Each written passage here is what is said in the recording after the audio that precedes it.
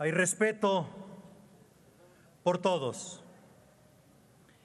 No es pues una concesión graciosa, no es una dádiva, no es una migaja que se avienta a quien levanta la palabra. Compañeras y compañeros, procuraré alejarme de adjetivos y señalamientos personales o de juicios de valor para centrar el debate.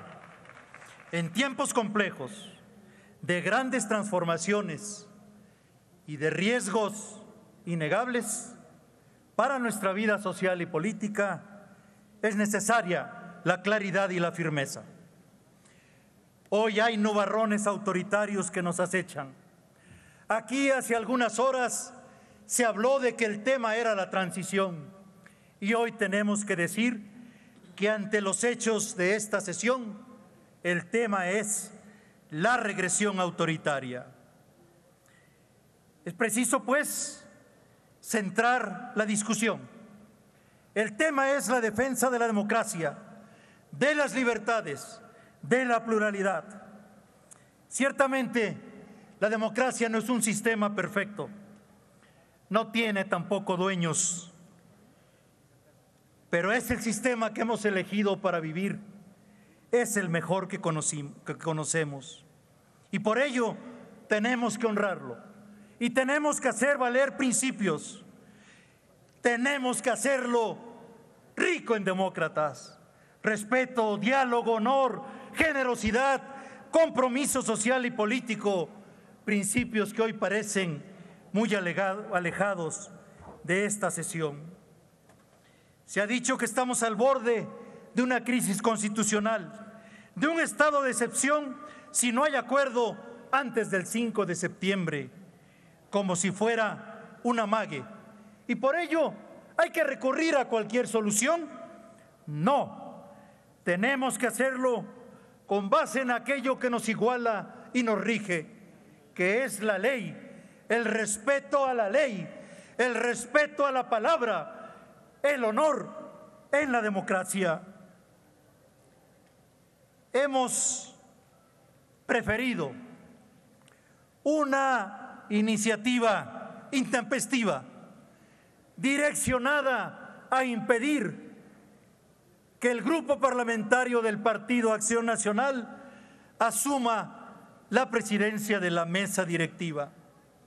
Hemos preferido esa escaramuza, esa, ese albazo legislativo por encima de esa gran reforma al Congreso a la que todos hemos venido abonando con una iniciativa incluso ya presentada y que requiere de nuestras aportaciones, de nuestra mayor claridad e inteligencia.